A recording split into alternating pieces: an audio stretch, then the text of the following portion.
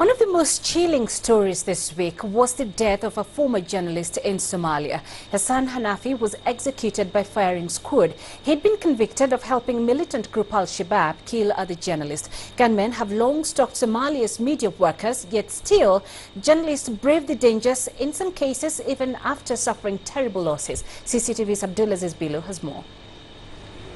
Pictures released by Somali authorities of the final moments of Hassan Hanafi the images have made news well beyond Somali borders and provoked a strong reaction online.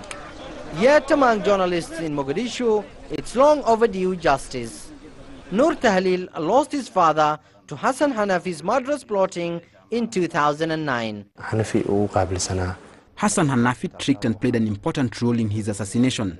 After the death of my father, that's when I heard of his name.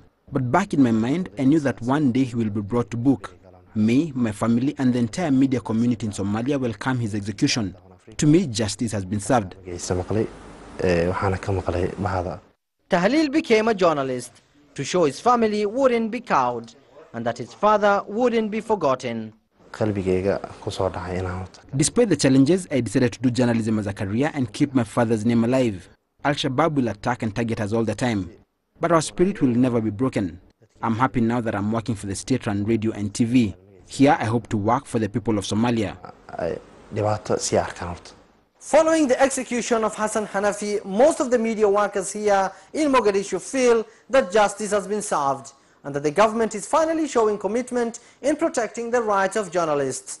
But still, the country ranks among the most dangerous for media workers. Hassan Hanafi was one of the most notorious suspects in the killing of journalists but many other culprits are still free. And with elections this year, journalists are seeking more protection and an end to impunity. Abdul Aziz Billow, CCTV, Mogadishu, Somalia.